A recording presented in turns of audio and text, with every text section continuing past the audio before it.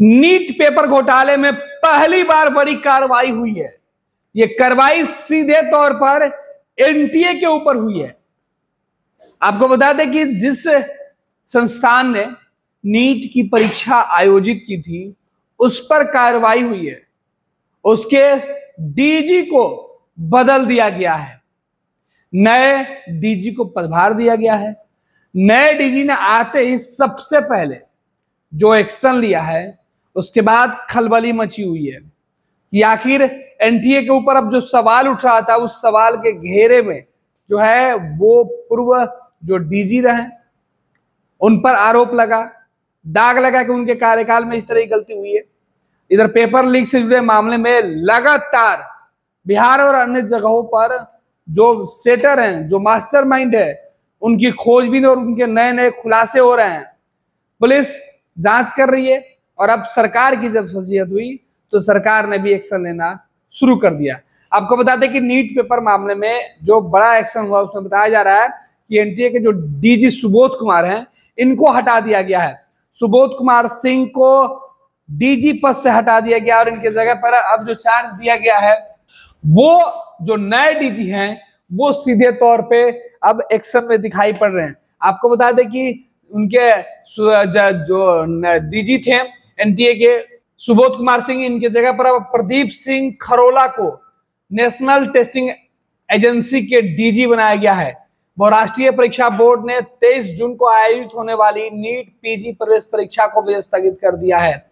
और इधर प्रदीप सिंह खरोला को जिम्मेवारी देते दी गई है और दूसरी तरफ़ जो 23 जून को परीक्षा होने वाली थी, उसको भी रद्द कर दिया गया है।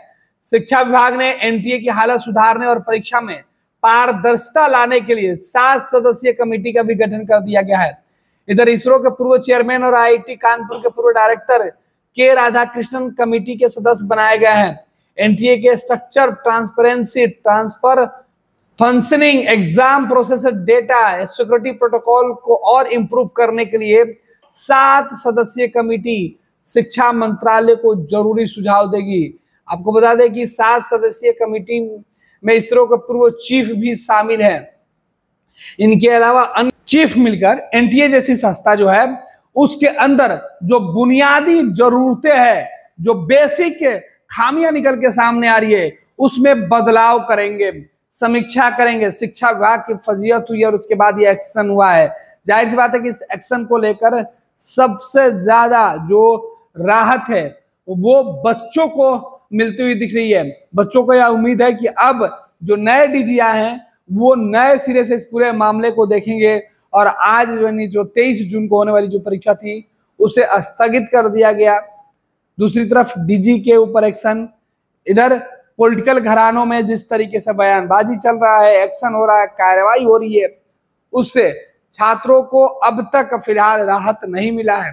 नीट पेपर लीक मामले में प्रशासन की तरफ़ से भले ही अपराधियों की धरपकड़ शुरू हो गई है, लेकिन छात्रों की जो डिमांड है वो अब तक पूरी नहीं हुई है।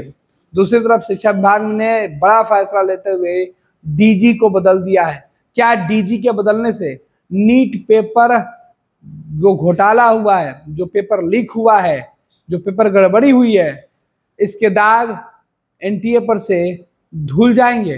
क्या नरेंद्र मोदी सरकार के तीसरे कार्यकाल के कामकाज शुरू होने से पहले जो दाग लगा है वो धुलेंगे। ये सवाल पूछे जा रहे हैं। ये लो मुँह मीठा करो। आज मैंने अपना जॉब छोड़ दिया। अब हम पूर्णिया वापस जाएँगे। जॉब छोड़ दिया है? मतलब? ये घर कैसे चलेगा? हम करेंगे क्या? और माँ बाबू जी क्या बोलेंगे? इसलिए मैं एक और मिठाई का डब्बा लाया। अपने बिज़नेस के लिए लोन अप्रूव हो गया। अरे लोन अप्रूव हो गया वो तो ठीक है लेकिन पूर्णिया में हम रहेंगे कहाँ? अपना घर भी तो नहीं है वहाँ। इसलिए तो एक और मिठाई का डब्बा अलग से लाया हूँ। हमने पूर्णिया में घर ले लिया है। पूर्णिया के ई होम्स पैनोरमा में। पूर्णिया में पैनोरमा ग्रुप लेकर आए हैं। ई होम्स पैनोरमा बड़ा घर आलीशान ज़िंदगी और अत्याधुनिक सुविधाओं के संग। अरे अरे अब क्यों मुँह मीठा करवा रही हो? क्योंकि हम घर वापसी जो कर रहे हैं। घर वापसी की खुशी। पूर्णिया में ई होम्स पैनोरमा के संग। E Homes Panorama luxurious lifestyle redefined